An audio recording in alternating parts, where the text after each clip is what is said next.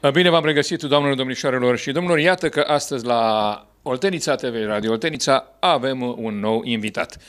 S-a desfășurat uh, în această zi o acțiune foarte, foarte interesantă și importantă pentru învățământul românesc.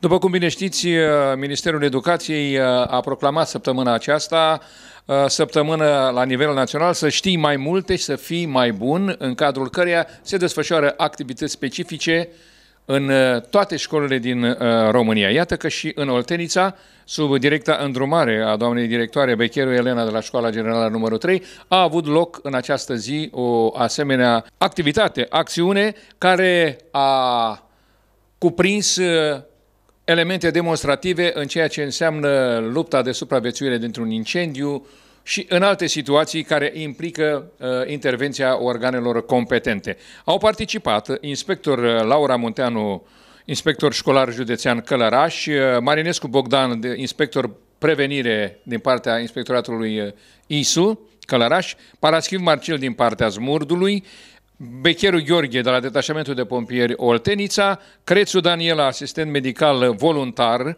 din uh, Spitalul Oltenița, iar uh, ca cei care au uh, vizionat și au participat în direct la acest uh, eveniment au fost copiii din școala generală numărul 3 și structurile acestuia, școala 4, grădinița, etc. De asemenea, toate lucrurile acestea s-au întâmplat sub directa îndrumare a doamnei Becheru Elena, directoarea școlii generale numărul 3. Doamna directoare, cum uh, credeți că ați dus la bun sfârșit această acțiune ce s-a desfășurat în sala de sport a dumneavoastră de aici la școala generală numărul 3? Această acțiune a necesitat multă atenție din partea noastră.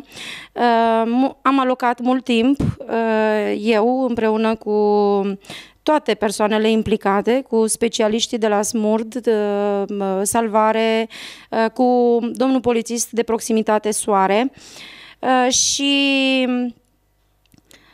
am uh, fost uh, surprinsă să constat că toți m-au susținut în acest demers. Uh, și au venit cu plăcere și um, au fost încântați să învețe copiii, să se apere pe ei și în același timp să îi apere și pe cei din jurul lor. Am uh, pus în uh, scenă, ca să spun așa, pentru că am fost uh, actori pentru copiii noștri, exerciții uh, din care uh, ei să învețe cum să se salveze și cum să procedeze în situații limită, ca să spun așa. Copiii au fost foarte încântați, după cum ați constatat. Am fost încântată să văd că și părinții au fost alături de noi. Eu zic că astfel de activități sunt uh, uh, necesare pentru că noi învățăm pe copii tot ce trebuie să învețe, la română, matematică și toate disciplinele obligatorii.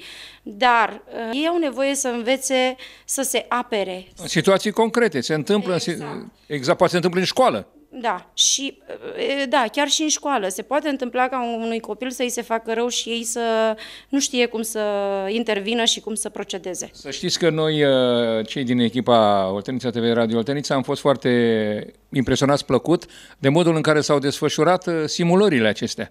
Chiar ne-am gândit, uite, sunt copii care privesc, i-am văzut și îi priveam pe copii, poate să se vadă și pe imagini, în care erau cu ochii mari deschiși, extraordinar de curios să vadă cum se procedează, pentru că au văzut în filme, au văzut în alte situații, dar ei poate nu cred că s-ar putea întâmpla, și în vorba aia batem în lemn, să nu se întâmple și la noi, să nu se întâmple copiilor noștri, dar se poate întâmpla ca într-o asemenea situație să-i ajute să iasă cu bine din aceste lucruri. Acesta a fost și scopul nostru. Uh, deci una este să îi spui unui copil o poveste sau să-i pui un filmuleț și alta este să-i arăți pe viu. Și eu zic că toți ne-am descurcat foarte bine, că au avut ce învăța copiii și sper să le fie de folos. Oricum am de gând să continui cu astfel de exerciții, nu numai pe linia aceasta și pe alte linii, prin care copiii noștri să, într-adevăr, să devină niște cetățeni buni și capabili. Și zic eu că asta înseamnă să fii pedagog, să fii complex și să formezi copilul uh,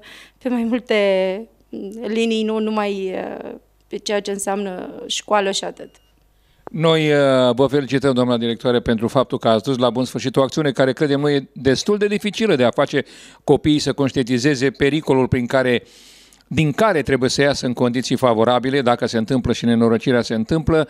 Uh, și vă dorim să aveți și în continuare aici, în școala dumneavoastră, acțiuni de acest gen, la care noi vă promitem că vom încerca în limita timpului nostru posibil să fim și noi prezenți pentru a reflecta cum se cuvine eforturile făcute de dascăli în prevenirea unor astfel de evenimente. Eu vă mulțumesc foarte mult că ați fost alături de noi uh, și că ați făcut să aibă un răsunet uh, acest uh, exercițiu al nostru.